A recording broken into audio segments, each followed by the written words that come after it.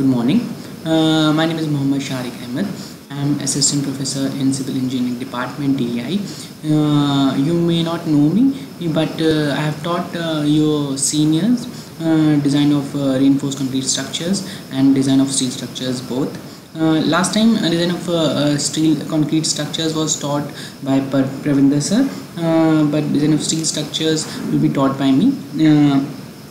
This uh, particular subject known to you with the name structure 4 is nothing but design of steel structures. In the previous semester you have studied design of reinforced concrete structures. So uh, this is the uh, course uh, I, i've shared with you the question bank and as well the um, course uh, syllabus of the uh, uh, syllabus of the subject. So let's see once again uh, unit one is basically introduction to steel structures ठीक है? तो unit one क्या है basically introduction to steel structures है कि basic uh, है कि steel structures क्या होते हैं किससे बनते हैं अ, क्या चीज़ें हैं है ना? ये सब यूनिट वन में कवर करेंगे हम लोग। दूसरा यूनिट दूसरी यूनिट है आपकी है स्टील कनेक्शंस कि बेसिकली जो स्टील स्ट्रक्चर्स होते हैं वो अनलाइक जैसे जो बनाए जाते हैं, उसमें कनेक्शन भी एक इंपॉर्टेंट रोल प्ले करता है कि हम जो जो जॉइंट्स होते हैं, उसको हम किस चीज़ से जोड़ते हैं। नट से जोड़ते हैं, नट एंड बोल्ट होता है रिवेट होता है वेल्डिंग होता है है ना? तो डिफरेंट डिफरेंट अरेंजमेंट्स होता है और उस अरेंजमेंट्स को जो हम कनेक्ट करते हैं ना? उस उसको हम कनेक्शंस में हम पढ़ते हैं स्टील स्ट्रक्चर में। रेनफोर्स कंक्रीट स्ट्रक्चर्स में ये कनेक्शन का टॉपिक नहीं होता था, क्योंकि रेनफोर्स कंक्रीट स्ट्रक्चर्स में नॉर्मली हम जो जॉइंट्स होते थे, उसको एक नॉर्मल मोनोलिथिक कास्ट कर लेते थे तो इसमें कोई कंस्ट्रक्शन नहीं होता था। उसके बाद आता है डिज़ाइन ऑफ़ स्टील बीम्स ये आपका थर्ड यूनिट होगा। इसमें हम लोग, जैसे हम लोग ने रेनफोर्स कंक्रीट स्ट्रक्चर में नॉर्मल एक रेनफोर्स कंक्रीट की बीम कास्ट करी हुई थी, ना M twenty grade of concrete में और F E four one five में। तो इसमें हम क्या करेंगे? इसमें हम नॉर्मली स्टील बीम से कास्ट करेंगे। ठीक है अब बात करते हैं डिज़ाइन ऑफ़ स्टील कॉलम्स ये आपको पढ़ाया जाएगा यूनिट फोर में। अगेन जैसे हमने आर सी सी में normal reinforce concrete column design किए थे वैसे हम स्टील कॉलम्स को भी डिज़ाइन करना सीखेंगे। अ, कि हम स्टील कॉलम्स जैसे स्टील कॉलम्स कैसे डिज़ाइन करते हैं। लास्ट यूनिट है आपकी प्री स्ट्रेस कंक्रीट स्ट्रक्चर्स ये बेसिकली एक इन्हांस वर्जन होता है रेनफोर्स कंक्रीट स्ट्रक्चर का जहाँ पे हम जो कंक्रीट स्ट्रक्चर्स होते हैं, उसको और एफिशिएंटली यूटिलाइज करते हैं। और जैसे फॉर एग्जांपल इस तरह का एक सेक्शन होता था कंक्रीट स्ट्रक्चर का, है ना? जिसमें हम क्या करते थे कि ऊपर का हम ये करते थे कि ये जो पोर्शन है ऑफ़ द कंक्रीट वो कंप्रेसिव फोर्सेस बियर करता था और नीचे जो होता था, वहाँ पर हम स्टील प्रोवाइड कर देते थे और इस वजह से हम इस तरह से हम डिज़ाइन करते थे रेनफोर्स कंक्रीट स्ट्रक्चर को, ठीक है? लेकिन अब प्री स्ट्रेस कंक्रीट में क्या करते हैं, हम ट्राई इस तरह से कुछ ट्राई करते हैं कि हमारा जो पूरा का पूरा सेक्शन है, वो यहाँ पे जो ये अमाउंट ऑफ़ कंक्रीट है ना, वो यूटिलाइज नहीं हो पाता था और वो add- सिर्फ़ डेड लोड को बढ़ाता था, ना? तो ये हमारे लिए कोई काम का नहीं होता था एज अ वेस्टेड होता था और डेड लोड को बढ़ाता था। ये एक नेगेटिव इम्पैक्ट था रेनफोर्स कंक्रीट स्ट्रक्चर्स का। अब क्या करते हैं हम इसमें हम ऐसा सेक्शन डिज़ाइन करते हैं, जिसमें पूरा का पूरा सेक्शन जो है, वो किसमें हो? वो लोड को बियर करे और दोनों ही तरह के कंप्रेसिव और टेंसाइल लोड को बियर करें। तो इस तरह का हम सेक्शन डिज़ाइन करने की कोशिश करते हैं और लोडिंग भी हम इस तरह से लगाते हैं। तो इसके लिए क्या करते हैं, क्या चेंजेस होते हैं, ये हम प्री स्ट्रेस कॉन्क्रीट स्ट्रक्चर्स में पढ़ेंगे। ठीक है? तो ये आपका सीक्वेंस ऑफ़ पैटर्न है। Unit one introduction to steel structures unit two steel connection unit three design of steel beams unit four design of steel columns unit five pre stress concrete structures ठीक है? ये पाँचों unit आपकी पढ़ेंगे। आपके लिए question bank आपको दी गई है। तो वहाँ से आप क्वेश्चन बैंक रिफ़र कर सकते हैं कि क्वेश्चन कैसे आने हैं। यूनिट वन बहुत ही सिंपल यूनिट है। आराम से आप कर सकते हैं। प्योर थ्योरेटिकल होगा, थोड़ा बहुत प्रॉपर्टीज़ और स्टील एंड कंक्रीट थोड़ा बहुत हम डिस्कस भी करेंगे बहुत ही लाइट वे में क्योंकि आज पहला लेक्चर है तो हम बहुत ही लाइट वे में हम डिस्कस भी करेंगे कि स्टील स्ट्रक्चर्स क्या होते हैं।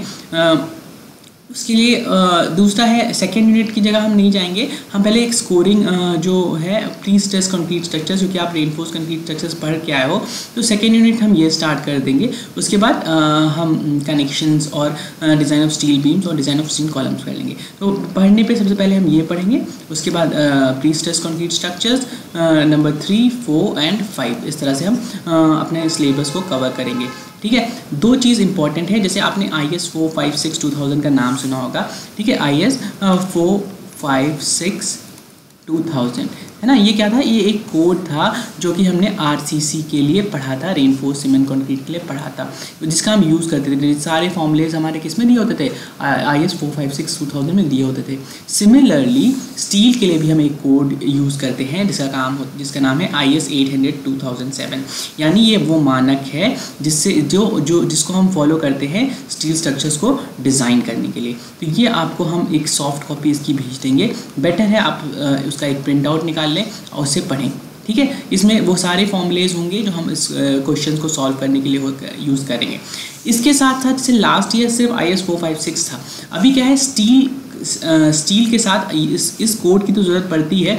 इसमें सारा क्या होता है? इसमें सारे फॉर्मूलेज आपको मिलेंगे कि हम डिज़ाइन कैसे करते हैं और सारी चीज़ें होंगी। इसके साथ साथ आपको जो एक स्टील टेबल की भी ज़रूरत पड़ेगी। ये स्टील टेबल अगेन क्या होती है? अब देखो ना, जब हम डिज़ाइन करते हैं स्टील को या कोई सेक्शन को तो बेसिकली स्टील में क्या होता है? आई सेक्शन होता है चैनल चैनल सेक्शन होता है ना? ये हम पढ़ेंगे कि आई सेक्शन क्या होता है चैनल सेक्शन क्या होता है, वो स्टील बिल्डिंग में। तो उस आई सेक्शन की कुछ प्रॉपर्टीज़ होती हैं, कि उसकी हाइट होती है, कुछ विथ होती है। तो ये जो प्रॉपर्टीज़ ऑफ़ चैनल सेक्शन है, ना, ये जो प्रॉपर्टीज़ है, वो कहाँ दी हुई है? वो स्टील टेबल में दी हुई है डिटेल प्रॉपर्टीज़ ठीक है? तो आपको ये स्टील टेबल का भी प्रिंट आउट या स्टील टेबल आपको किसी स्टेशनरी शॉप से मिल जाएगी। वहाँ से आप स्टील टेबल बाय कर सकते हैं। तो इन दो चीज़ों की क्वेश्चन ज़रूरत पड़ेगी हमको क्वेश्चन सॉल्व करने में I S eight hundred and I S steel table ये जो बेसिकली तीन चैप्टर्स हैं steel connections design of steel beams और डिज़ाइन ऑफ़ स्टील कॉलम्स इन तीनों चैप्टर्स के लिए आपको इस आई एस कोड की और स्टील टेबल की ज़रूरत पड़ेगी। ठीक है? तो बेटर है इसका प्रिंट आउट निकलवा के अपने साथ रख लीजिएगा। ठीक है? आइए नेक्स्ट बात करते हैं। थोड़ा डिटेल में जाते हैं। बहुत ही लाइट वे में आज बताऊँगा। पहला दिन है आपका, ठीक है? तो what are steel structures steel basically बहुत ही सिंपल वे में structures made of steel are called steel structures यानी वो स्ट्रक्चर्स जो स्टील से बनाए जाते हैं, वो स्टील स्ट्रक्चर्स कहलाते हैं, ठीक है? In steel structures structural steel is the main load carrying material to transfer the load within with them and to transfer the load to the ground ठीक है? तो बेसिकली स्टील स्ट्रक्चर्स क्या होते हैं? जो स्टील से बने हुए स्ट्रक्चर्स होते हैं, वो स्टील स्ट्रक्चर्स कहलाते हैं। जैसे रेनफोर्स कंक्रीट स्ट्रक्चर्स किसके बने होते थे? रेनफोर्स्ड सीमेंट कंक्रीट से बना होता था कंक्रीट और स्टील का रेनफोर्समेंट होता था इसमें। तो वो रेनफोर्स सीमेंट कंक्रीट स्ट्रक्चर्स कहलाते थे। और ये स्टील स्ट्रक्चर्स क्या होते हैं? जो प्योरली स्टील के कॉलम्स या स्टील से बने होते हैं, वो स्टील स्ट्रक्चर्स कहलाते हैं। सबसे ज़्यादा आपने कहाँ देखा होगा उसको? सबसे ज़्यादा रेलवे प्लेटफॉर्म्स में देखा होगा, या फैक्ट्रीज़ में देखा होगा, या आप जाते हैं वहाँ जाते हैं फेट में जाते हैं मेले में जाते हैं तो वहाँ पे जितने भी, है ना फेयर्स होते हैं, झूले होते हैं, वो सब किससे बने होते हैं? वो सब स्टील स्ट्रक्चर्स के बने होते हैं, ताकि हम उसको जहाँ भी बनाना चाहें इसको इरेक्ट करना चाहें, हम इरेक्ट कर लें, फिर उसको नट एंड बोल्ट से ओपन करके हम उसको दूसरी जगह इरेक्ट कर सकते हैं। स्टील स्ट्रक्चर्स का सबसे अच्छा एग्ज़ाम्पल होता है कि हम एक बिल्डिंग को पूरा का पूरा ट्रांसफ़र कर सकते हैं, एक जगह इरेक्ट किया, हमें हमें उसकी लोकेशन चेंज करनी है, हमने उसको अनफोल्ड किया और दोबारा इरेक्ट कर दिया उसको कहीं दूसरी जगह पे। ठीक है तो हम इस तरह से भी स्टील स्ट्रक्चर्स के साथ कर सकते हैं।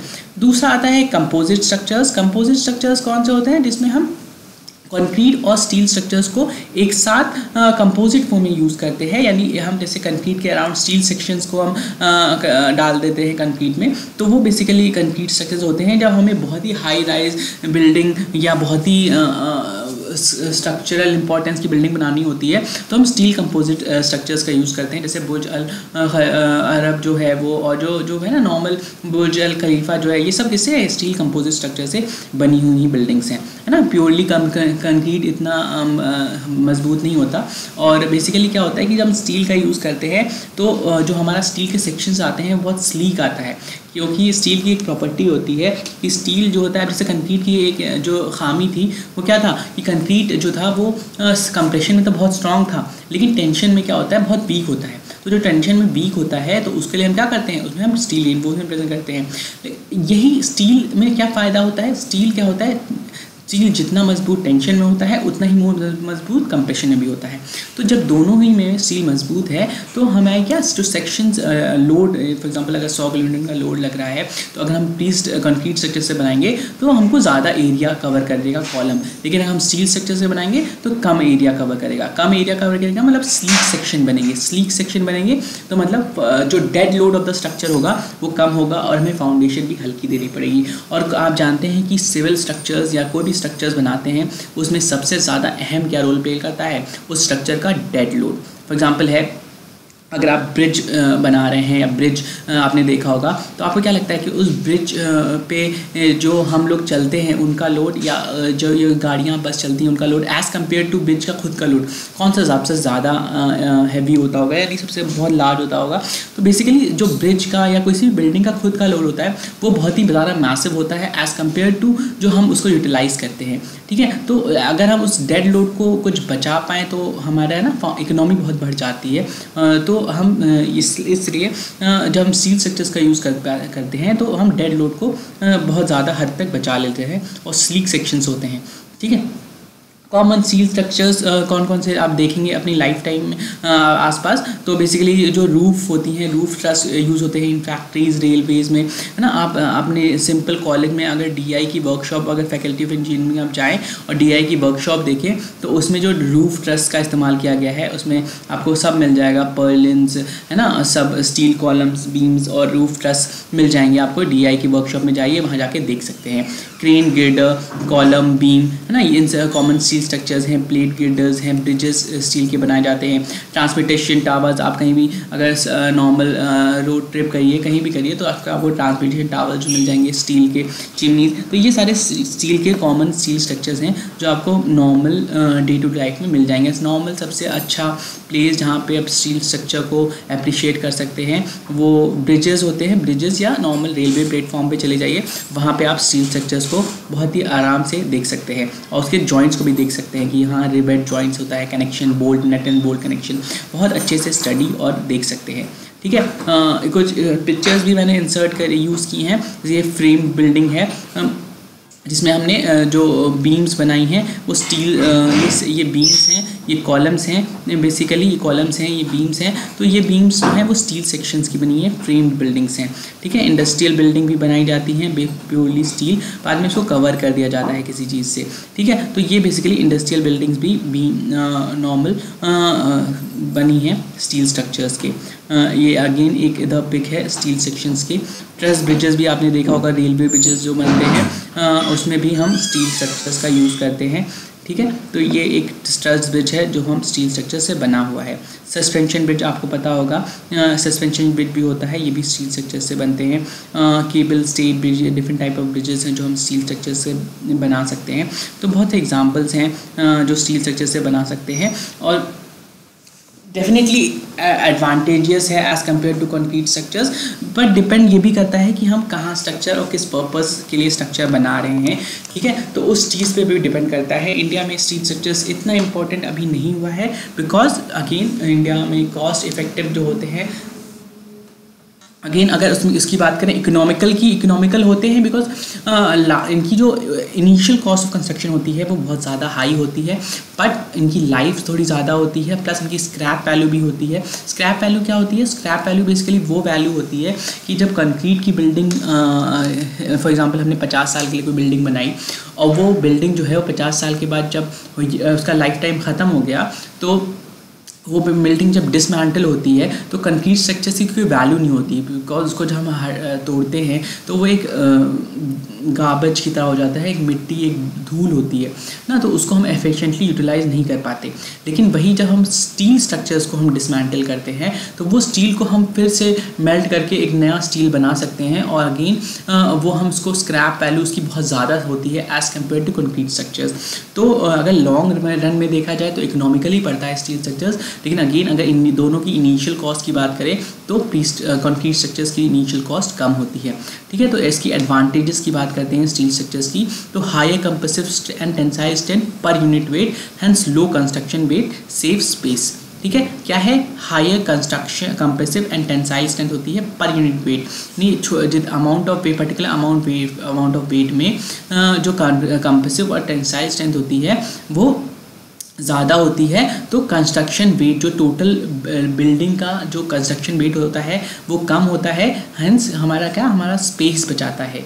अगेन दूसरा एडवांटेज क्या है? एस्थेटिक व्यू मतलब इसका लुक वाइज भी थोड़ा अच्छा होता है तो इसलिए भी हम स्टील स्ट्रक्चर प्रेफर करते हैं। गुड क्वालिटी के हम बन सकते हैं और ड्यूरेबिलिटी भी होती है। अब जैसे रेनफोर्स कंक्रीट स्ट्रक्चर जो कंक्रीट बनाया जाता है हमेशा साइड पर बनाया जाता है। अब साइड पर हम इसकी क्वालिटी इंश्योर नहीं करा सकते कि हाँ किस आ, किस कैसा कंक्रीट है है ना? कैसा मतलब इसमें कैसा अमाउंट ऑफ़ सीमेंट है? सीमेंट को बहुत दिनों से रखी हुई सीमेंट तो नहीं है या ना उसकी क्यों उसमें कैसे मिक्सिंग कर रहे हैं, है ना? उसको मतलब साइट पे जो चीज़ें होती हैं, वो इतनी एक्यूरेट नहीं होती। हम इसको रफ मेंशन करते हैं, उसमें फैक्टर ऑफ़ सेफ्टी ज़्यादा बढ़ाते हैं।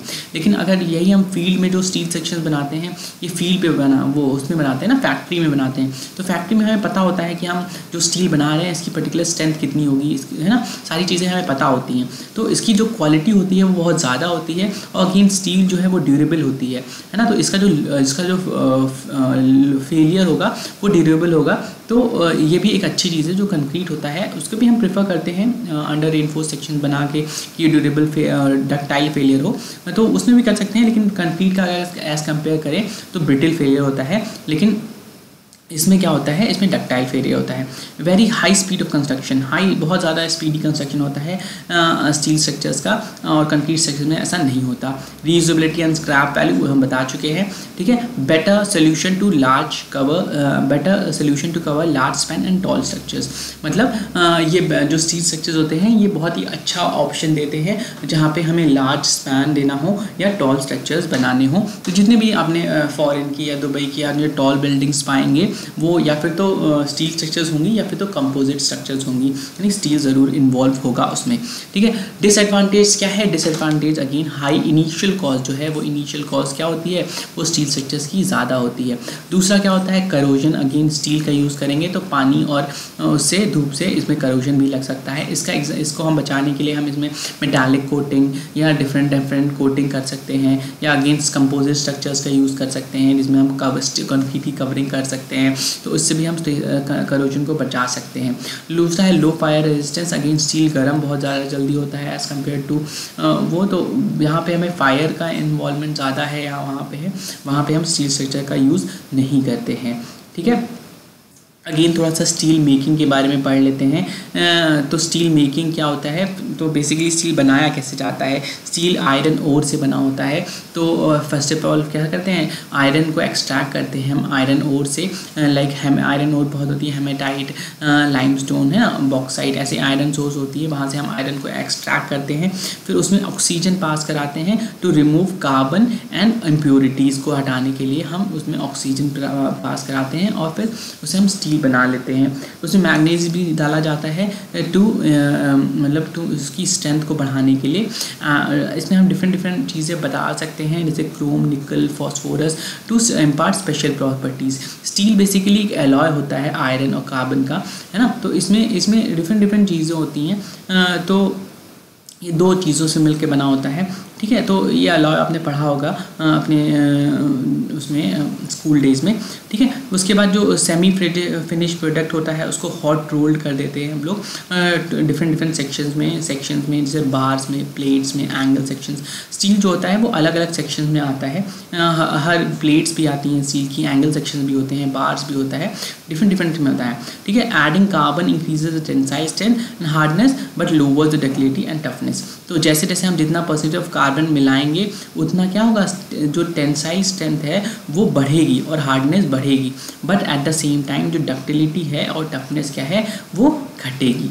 ये होती है स्टील की कुछ प्रॉपर्टीज़ अब जो यूनिट मास ऑफ़ स्टील होता है या डेंसिटी अभी बोल सकते हैं, इसको रो से नोट करते हैं, वो कितनी होती है? सात हज़ार आठ सौ पचास किलोग्राम पर मीटर क्यूब ये कहाँ पे दिया हुआ है आपका? ये आई एस एट हंड्रेड में clause number two point two point four point one पे दिया हुआ है। ये सारी प्रॉपर्टीज़ आपको याद करने की ज़रूरत नहीं है। तो कितना होता है? रो से नोट करते हैं, सात हज़ार आठ सौ पचास kilogram per metre cube modulus of elasticity आपने पढ़ा होगा ई ई e से नोट होता है ratio of slope of stress strain curve ठीक है? स्लोप ऑफ़ सस्टेन कब होता है ना? तो ये E two into ten power five newton per M M square या मेगा पास्कल भी बोलते हैं। ये होता है modulus of elasticity of steel Poisson ratio होता है zero point three modulus of rigidity होता है zero point seven six nine into ten power five newton per M M square newton per M M square आपको mega pascal भी बोला जाता है। और कोफिशियंट ऑफ़ थर्मल एक्सपेंशन आपने पढ़ा होगा कि कंक्रीट और स्टील का बराबर होता है कितना होता है? Twelve into ten power six minus per degree Celsius coefficient of thermal expansion होता क्या है कि टेम्परेचर के घटने या बढ़ने पर जो ना, जैसे टेम्परेचर बढ़ता है तो हम जानते हैं ना, जो मेटल है वो भी थोड़ा, उसमें भी थोड़ा डिफरेंस उसकी शेप में भी थोड़ा चेंज आता है मेटल भी थोड़ा एक्सपैंड करता है कॉन्ट्रैक्ट करता है। तो जो कोफिशियंट ऑफ़ ये डिपेंड करता है कितना एक्सपैंड या कितना कॉन्ट्रैक्ट करता है डिपेंड करता है उसका कितना कोफिशियंट ऑफ़ थर्मल एक्सपेंशन है या कॉन्ट्रैक्ट थर्मल एक्सपेंशन है। ठीक है? अब मैकेनिकल प्रॉपर्टीज़ की बात करते हैं स्टील की। तो मैकेनिकल जो टाइप वन और टाइप टू में डिवाइडेड है स्टैंडर्ड स्ट्रक्चरल स्टील और high tensile steel structural steel इसको डिनोट करने के लिए जो आरसीसी में करते थे, वो इस तरह से करते थे कि F E four one five है ना? F E four one five या एफ़ ई टू फिफ्टी यहाँ पे यहाँ पे F E two fifty F E चार सौ पंद्रह उसकी कैरेक्टरिस्टिक स्ट्रेंथ होती थी। न्यूटन पर एम स्क्वायर में एफ़ ई टू फिफ्टी में टू फिफ्टी उसकी न्यूटन पर एम स्क्वायर में कैरेक्टरिस्टिक स्ट्रेंथ होती थी। यहाँ पे थोड़ा सा डिफरेंट हो जाता है डेजिग्नेशन सीट सेक्टर्स में। जैसे यहाँ पे तीन ग्रेड्स में डिवाइड कर जाते हैं, है ना? F E four one ten A तो इस तरह से आपको लिखा पे मिलेगा कहीं कहीं पे। F E four F E four one ten A W अब यहाँ पे क्या है? यहाँ पे F E stand for iron है। F four hundred ten stand for उसकी अल्टीमेट टेंसाइल स्ट्रेंथ होती है। ए डिफाइन करता है उसका ग्रेड और डब्लू डिफाइन करता है वो वेल्डेबल है या नहीं वेल्डेबल है।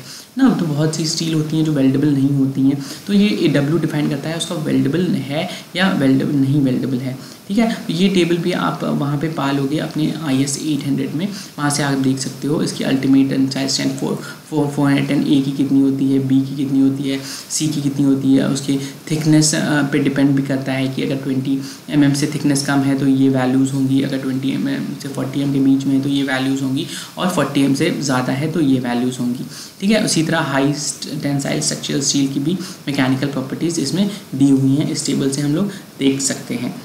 ये क्वेश्चंस में इसका काम आता है तो हम जब क्वेश्चंस करेंगे तो आपको डिटेल में समझ में आएगा। कुछ मैकेनिकल प्रॉपर्टीज़ हम डिस्कस कर लेते हैं। आ, ये अपने नॉर्मल फ़र्स्ट ईयर्स में भी पढ़ते हैं जैसे डक्टिलिटी टफनेस मेलिबिलिटी है ना? तो ये नॉर्मल थोड़ी प्रॉपर्टीज़ हैं जो आपके लिए इम्पोर्टेंट्स हैं। मतलब ये थ्योरी के लिए है थोड़ा। आ, तो डक्टिलिटी आपको पता है टू बी डिफॉर्म्ड मतलब टू वायर्स या ability for metal to change its shape shape without fracture तो माइल्ड स्टील क्या होता है? हाई टेक्टाइल होता है और हाई कार्बन स्टील जिसमें हम कार्बन स्टील बढ़ाते जाते हैं तो उसको वो उसकी डक्टिलिटी क्या है? कम होती जाती है। बट जैसे जैसे कार्बन बढ़ाएँगे, वैसे उसकी स्ट्रेंथ बढ़ेगी, है ना? लेकिन हार्डनेस बढ़ेगा, लेकिन डक्टिलिटी क्या होगा? कम होगा। ब्रिटल हो जाएगा वो मटीरियल जैसे जैसे कार्बन बढ़ाएँगे। तो माइल्ड स्टील हाईली डक्टाइल होता है हाई कार्बन स्टील नहीं है डक्टाइल होता है। टफनेस एंड ब्रिटल फ्रैक्चर तो temperature ability of a material to resist toughness ability of material to resist absorb impact loads like earthquake loads machine load etcetera ठीक है तो ये बेसिकली यहाँ पे टेम्परेचर ही टफनेस होगा। टफनेस क्या है? Toughness is the ability of the metal to resist impact load impact load को रेजिस्ट करने के लिए जो वो एबिलिटी होती है, उसको टफनेस बोलते हैं, या अर्थक्विक लोड या मशीन लोड को। Requires both strength and ductility ठीक है? जो टफनेस होती है, वो स्ट्रेंथ और डक्टिलिटी दोनों ही ज़रूरत होती है, ठीक है? एट लो टेम्परेचर्स जो होता है, कम टेम्परेचर पे जो स्टील फेल हो जाता है impact loading due to reduction in ductility and toughness call brittle fracture basically क्या होता है, जब टेम्परेचर कम होता है स्टील का तो जो डक्टिलिटी होती है, वो कम हो जाती है स्टील की और उसका जो फेलियर होता है, वो ब्रिटल फ्रैक्चर हो जाता है। डक्टिलिटी और टफनेस दोनों ही कम हो जाता है। जब जो स्टील का टेम्परेचर कम करते हैं हम लोग तो उसकी डक्टिलिटी क्या हो जाती है? कम हो जाती है। इसी तरह हाई टेम्परेचर्स पे जो स्टील होती है, उसकी स्ट्रेंथ क्या हो जाती है? कम हो जाती है। ठीक है? तो ये कुछ मैकेनिकल प्रॉपर्टीज़ हैं स्टील की। Corrosion steel corrodes in the moist air है ना? Sea water and acid adopt painting इसके लिए हम ऑप्शन क्या सकते हैं? Painting metallic coating plastic coating है ना? तो इस तरह की चीज़ें हम यूज़ कर सकते हैं टू अवॉइड करोजन ठीक है? लास्ट है मतलब मैकेनिकल प्रॉपर्टीज़ में हार्डनेस भी होती है। हार्डनेस क्या होता है? स्क्रैचिंग को रेजिस्ट करने की प्रॉपर्टी इंडेंटेशन स्क्रैचिंग को रेजिस्ट करने की प्रॉपर्टी तो resistance for material to indentation and scratching इसके लिए कौन कौन से टेस्ट होते हैं? ब्राइनल हार्डनेस टेस्ट होता है Rockwell hardness test I use to measure hardness ठीक है? फटीक क्या होता है? फटीक बेसिकली अगेन एक प्रॉपर्टी होती है आ, ये रिपीटेड लोडिंग की वजह से होती है कि damage of the material due to cyclic loading मतलब एक ऐसा चीज़ जिसपे साइक्लिंग या रिपीटेटिव लोडिंग लग रही है ना? सेम तरह की लोडिंग कम लोड लग रहा है बदले लेकिन रिपीटेटिव लग रहा है। तो उस उस तरह के लोड को हम फटीक लोड बोलते हैं। अकल जूटिंग मूविंग लोड और वाइब्रेशन वाइब्रेशन लोड्स होता है एक छोटा सा जल्दी जल्दी वाइब्रेट हो रहा है तो भी जो मटेरियल है वो फटीक हो जाता है। ठीक है? तो इसे फटीक लोडिंग बोलते हैं। रेसिडुअल स्ट्रेसेस क्या होते हैं? Latent stress present in the steel sections due to uneven heating and cooling during steel making तो स्टील मेकिंग जब स्टील बनता है, उसमें अनइवन हीटिंग और कूलिंग की वजह से कुछ रेसिडुअल स्ट्रेसेस डेवलप हो जाते हैं। उसी को हम रेसिडुअल स्ट्रेसेस बोलते हैं। स्ट्रेस कॉन्सेंट्रेशन क्या होता है? स्ट्रेस कंसनट्रेशन मतलब कि अगर हम फॉर एग्ज़ाम्पल के स्टील की प्लेट है और उसमें एक जगह होल है, उसके बाद उसमें, उस उस होल में अगर हम इस तरह से लोड लगा रहे हैं, यहाँ पे होल है तो इसके अराउंड जो होल के अराउंड क्या हो जाता है, वो स्ट्रेस कॉन्सेंट्रेशन ज़्यादा हो जाता है तो इसी को हम स्ट्रेस कॉन्सेंट्रेशन बोलते हैं। तो under loading in under loading stress is concentrated at places at abrupt change in geometry like holes और बोल्ट जहाँ पे जहाँ पे ज्योमेट्री एकदम से जैसे ना कोई है, पतला हो जा रहा है सेक्शंस तो वहाँ पे जो है, वो स्ट्रेस कंसनट्रेशन ज़्यादा हो जाता है। तो ऐसे पॉइंट्स पे जहाँ पे स्ट्रेस कंसनट्रेशन ज़्यादा हो जाता है, उसी को स्ट्रेस कंसनट्रेशन बोलते हैं। ठीक है? ये कुछ मैकेनिकल प्रॉपर्टीज़ हैं जो कि आप देख लीजिएगा। ये एक बेसिक लेक्चर था सिंपल सा, जिसमें हमने स्टील को पढ़ा स्टील की मैकेनिकल प्रॉपर्टीज़ को पढ़ी स्टील क्या होते हैं, है ना? नेक्स्ट टॉपिक में हम आपको स्टील सेक्शंस के बारे में बताएँगे कि स्टील सेक्शंस क्या होता है, और फर्दर अपनी यूनिट वन में और एंटर कर लेंगे। यूनिट वन बहुत ही आसान है सिंपल यूनिट है। इसका आप सिलेबस में देख सकते हो, है ना? स्टील के बारे में स्टील स्ट्रक्चर्स के कौन कौन से होते हैं, उसके बारे में ही बताया गया है तो वहाँ से आप देख सकते हो। ठीक है? चलिए थैंक यू